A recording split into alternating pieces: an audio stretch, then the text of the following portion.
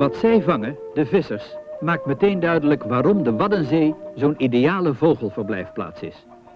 De miljarden kubieke meters water die hier tweemaal daags in en uitstromen, laten in dit ondiepe kustwater onvoorstelbare hoeveelheden voedsel achter voor een overrijk dierenleven in water en bodem.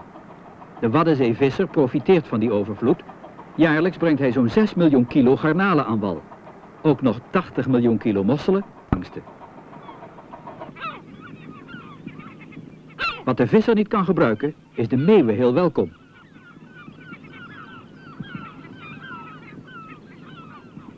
Eind april keren deze zeeschuimers onder de vogels terug op hun broedplaatsen op de Waddeneilanden.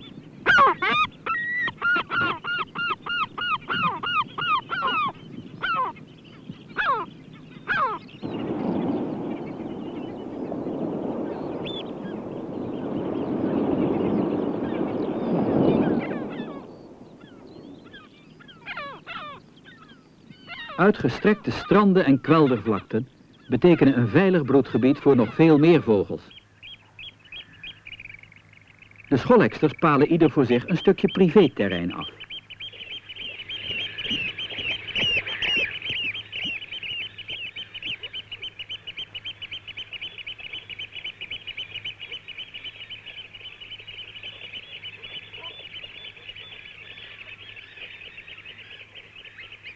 Meningsverschillen met buurlieden worden pas na heftige discussie opgelost.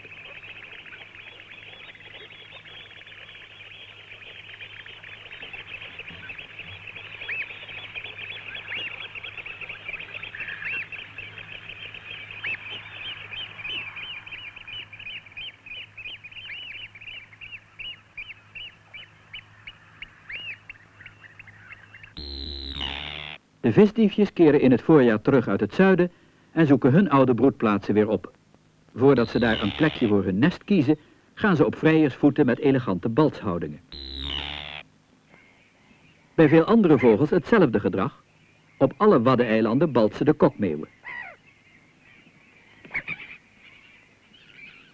Grote sterns demonstreren hun paardansen alleen op het mini-eilandje Grient, in de enige broedkolonie van deze vogelsoort.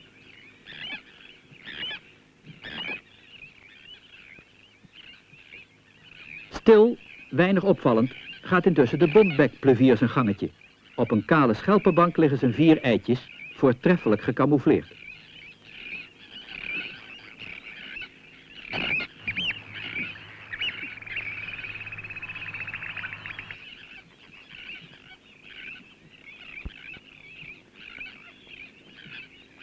Begin mei hebben de meeste broedvogels hun eieren wel gelegd.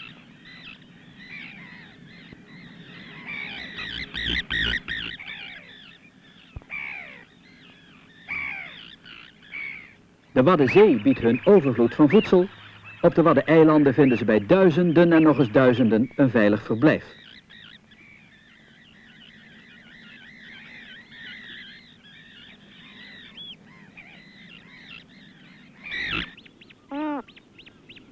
Door die rijkdom aan voedsel en die rust en die veiligheid vind je hier grote broedkolonies van algemene vogels, zoals zilvermeeuwen en scholeksters, Daarnaast huizen er de meer zeldzame soorten, bijvoorbeeld de dwergsterren.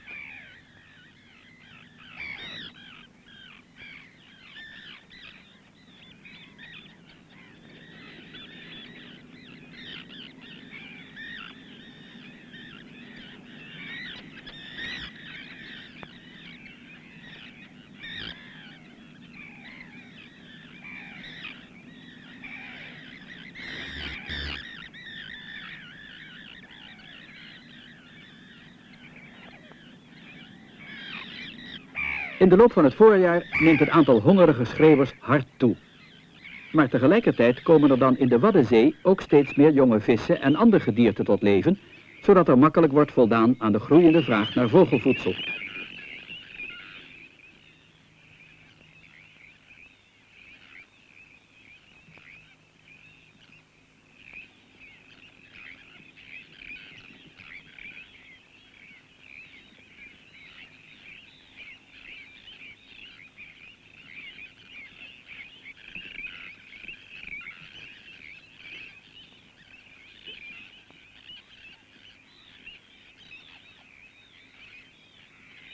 Zomer.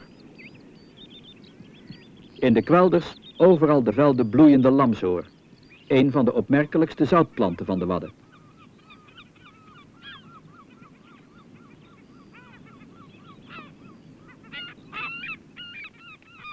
Af en aan varen nu de boten, vol mensen die zon zoeken en de ruimte en de rust die hier zelfs in het hoogseizoen nog te vinden zijn.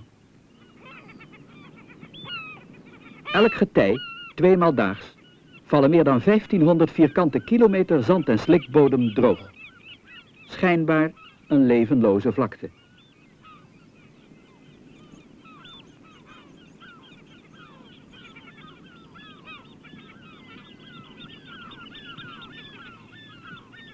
Toch, door de voedselrijkdom van het water, leeft het hier van de niet te tellen hoeveelheden bodembewoners. Aan de kracht van het woelige water en aan ons oog onttrekken ze zich door in de watbodem weg te kruipen. Maar aan de rand van zo'n geultje, waar snel wegstromend water de oever afbrokkelt, daar worden ze weer zichtbaar. Deze wormen, deze schelpdieren en hun gangen.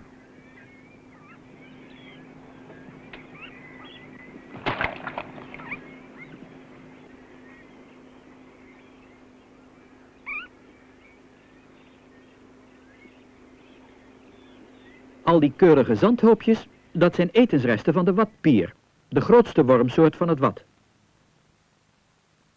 Uitgegraven voelt zo'n watpier zich niet veilig, doet meteen alle moeite om weer ondergronds te komen en kruipt tot een centimeter of dertig diep, eet daar zand, verteert wat verteerbaar is en deponeert de rest in zo'n hoopje aan de oppervlakte. In één vierkante meter zandbodem leven wel tientallen van die watpieren.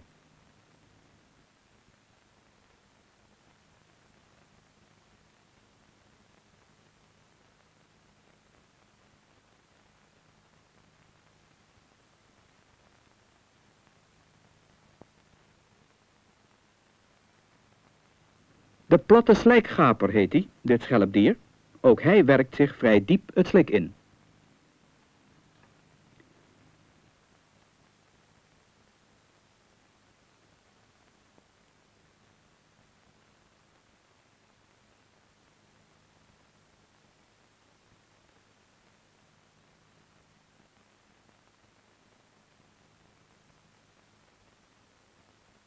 Niet iedereen verstopt zich zo'n end.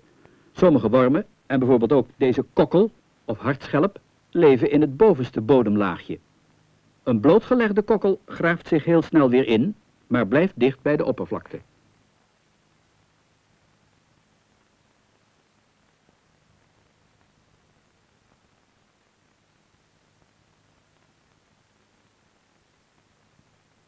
Die twee gaatjes zijn zijn ademopeningen.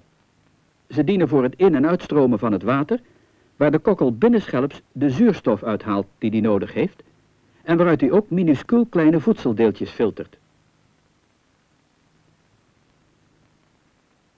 Bij de zeepokken kun je prachtig zien hoe zulke lekkere hapjes worden verzameld uit het water. Vanuit hun schaalpyramide, nog geen centimeter hoog, wuiven ze telkens met een soort waaierhark en halen zo al wat eetbaar is naar zich toe. Deze zeepokken moeten vaste grond onder de voet hebben. Ze hechten zich aan drijfhout, maar ook aan mossels, die zich op hun beurt weer aan elkaar vastklampen en zo de uitgestrekte mosselbanken vormen. Net als de kokkel filtreert ook de mossel het zeewater binnen in zijn lichaam.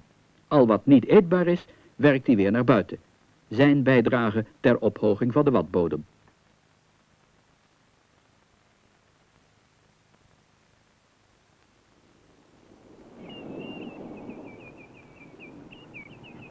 Geen wonder dat zoveel vogels zich te goed doen aan het rijkelijke maal dat de zee hun hier telkens weer voorzet. Om er voldoende van te profiteren moeten ze natuurlijk wel de verborgen prooidieren kunnen opsporen. Plevieren en steenlopers vertrouwen daarbij helemaal op hun ogen. Zij bemachtigen vooral prooidieren als kreeftjes en slakjes.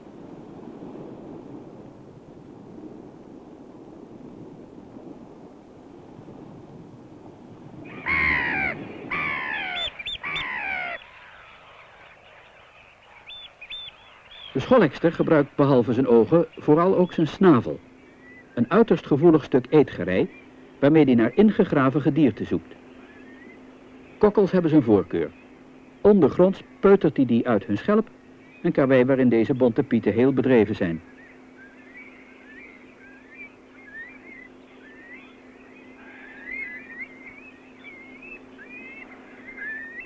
Een enkele keer haalt hij er eentje bovengronds en bewerkt hem daar. Onze kans om te zien hoe handig een scholekster met die gevoelige en tegelijk sterke snavel zoiets volbrengt.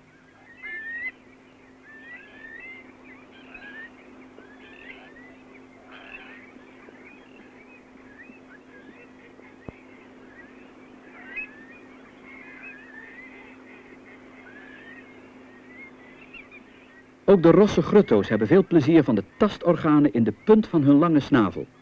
Hoewel ze, al zoekend, voortdurend kopje ondergaan en hun ogen moeten dicht doen, krijgen ook zij de ingegraven wormen te pakken.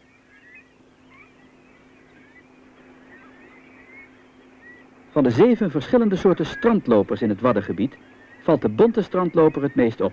Je herkent hem aan die zwarte buikvlek. Heel talrijk, deze bonte strandloper. Nogal klein is hij, geen spreeuw groot, en daardoor ook aangewezen op klein prooigedierte. Heel zorgvuldig zoekt hij daarnaar het bovenste bodemlaagje af.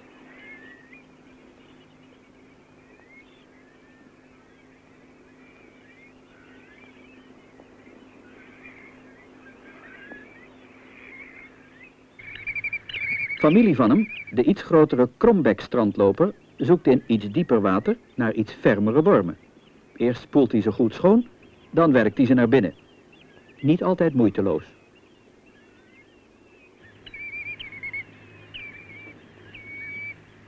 Tureluurs zijn weer iets bescheidener en hun hapjes vaak zo klein dat alleen aan de pik- en slikbeweging te zien is dat ze eten.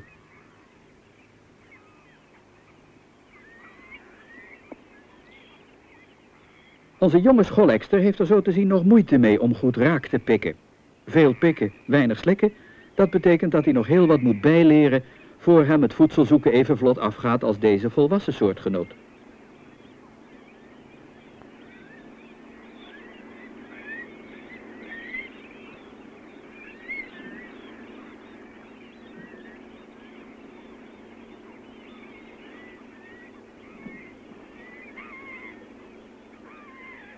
Kokmeeuwen zijn echte alleseters. Voor hun levensonderhoud stellig niet speciaal op de wadden aangewezen. Toch verblijven ze hier in de zomer bij tienduizenden. Ze hebben hier de kost voor het oprapen. Wie bij opkomend water maar een beetje oplettend rondzwemt, maakt al gauw een paar onvoorzichtige wormen buit. Als kokmeeuw dan altijd.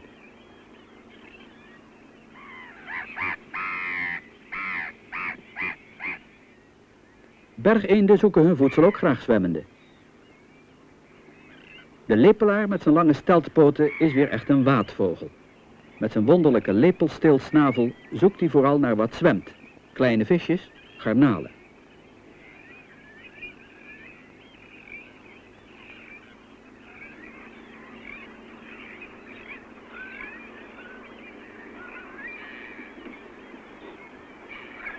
De klut houdt zijn buitenmodelsnavel zo dat hij met die opgewipte punt precies horizontaal door het zachte bovenlaagje van het slik woelt.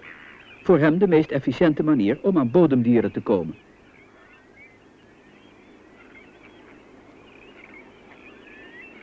Vrijwel al die vogels moeten het hebben van de tijd dat het laag water is.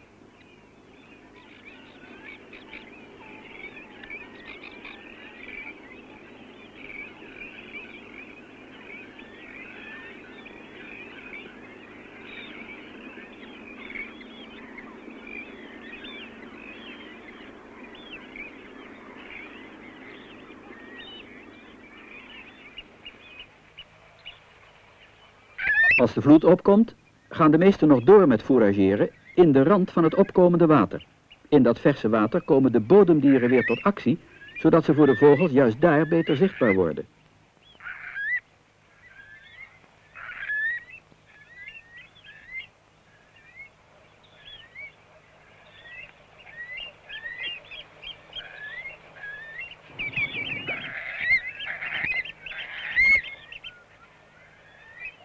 Maar allengs worden de vogels op steeds kleinere, hoger gelegen stukken van het wad bijeengedreven.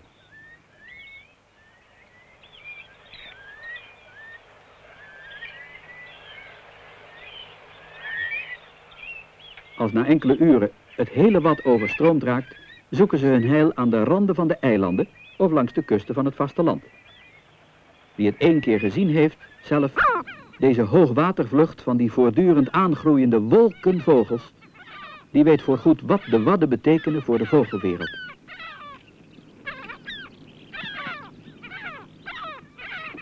Hoogwater is ook de kans voor natuuronderzoekers om erachter te komen hoeveel vogels er hier zo ongeveer kunnen zijn. Het nut van dat getal is te beoordelen van hoeveel belang ons waddengebied wel is, vooral in vergelijking met andere Europese kustgebieden. De broedvogelbevolking is nog maar een klein deel van al wat hier huist. Nog honderdduizenden trekvogels uit noordelijker en oostelijker gebieden komen daarbij. Onze Nederlandse wadden zijn een onmisbare pleisterplaats op hun trekroute. Voedsel en rust in een overvloed die nergens elders te vinden is.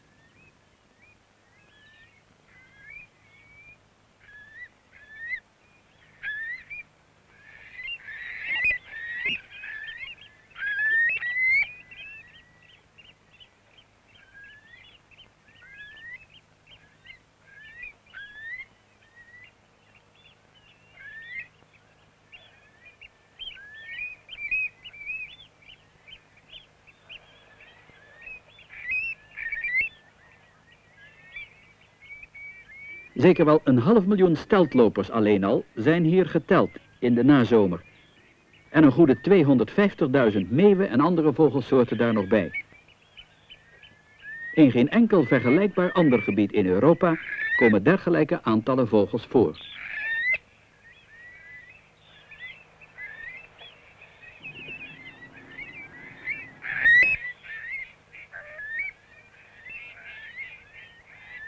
Bij laagwater zoeken deze zwermen hun voedsel over het hele Wad, van Den Helder tot Rotterdam.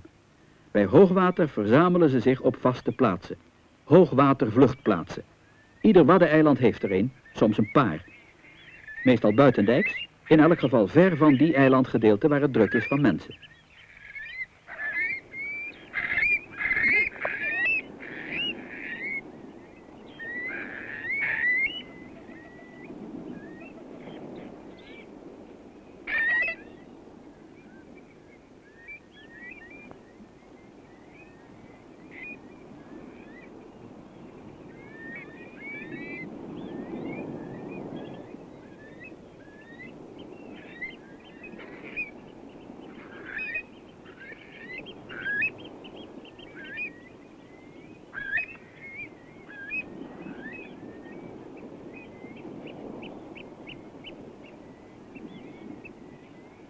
Zo'n half uurtje voor hoogwater zijn alle vogels wel aangekomen op de hoogwatervluchtplaats.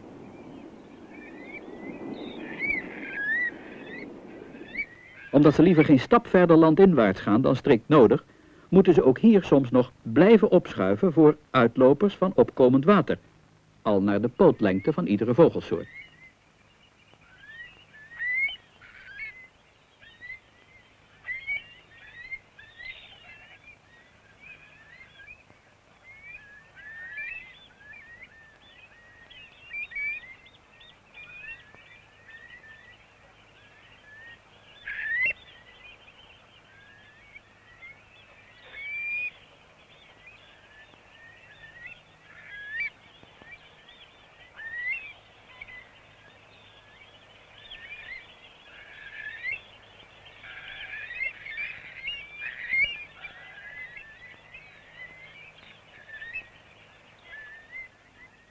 Meeuwen trekken zich niet zoveel aan van het water. Die kunnen ook wel zwemmende uitrusten. Slapen zelfs.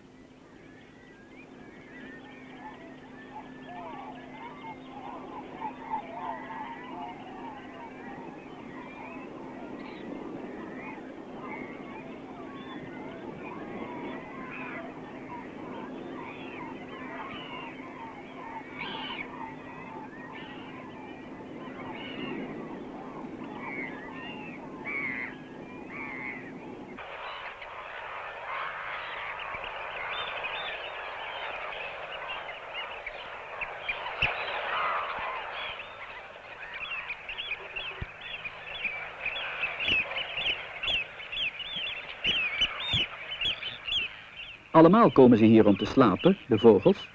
Maar de meesten maken eerst nog even gebruik van de hoogwatergelegenheid voor een bad. Gratis en grondig.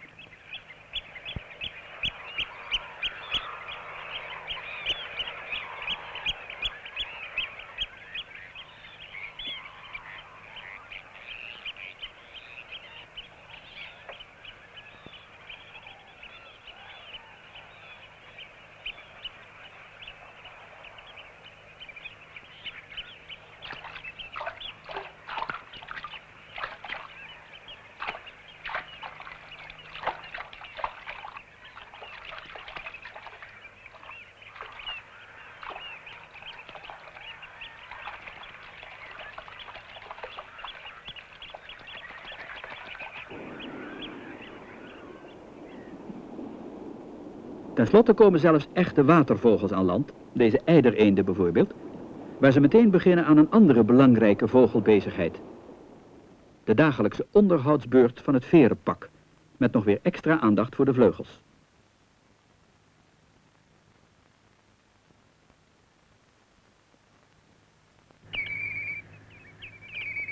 Vooral in de zomermaanden, wanneer de rui geleidelijk het hele verenkleed vernieuwt, valt er heel wat te schikken te krabben, te plooien aan de losrakende oude veren en aan de doorkomende nieuwe.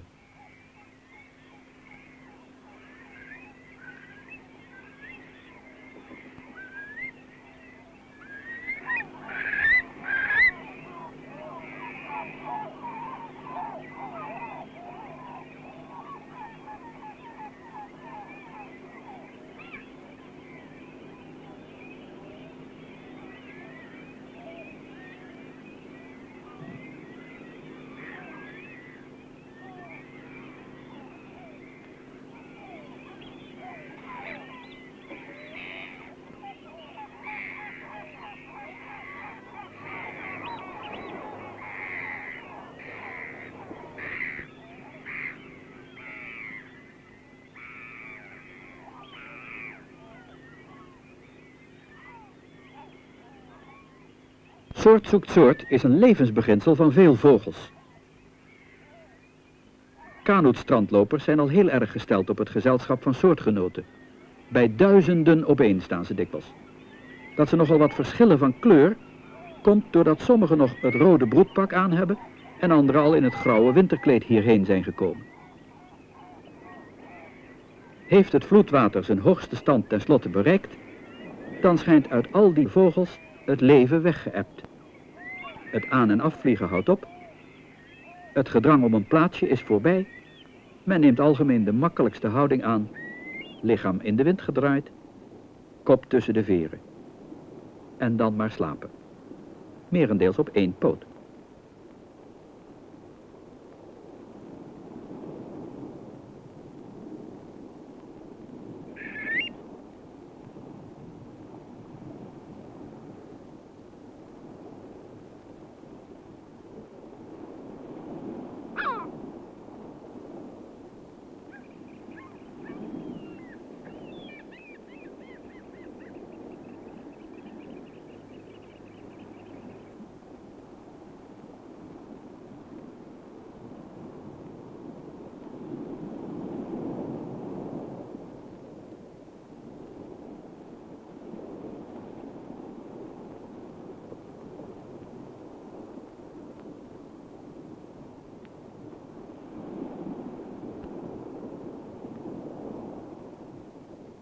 Urenlang. Slapen. Tweemaal daags, elke vloed. Hoewel, de nieuwsgierige bonte pieten zijn ook dan nog te vinden voor een verzetje.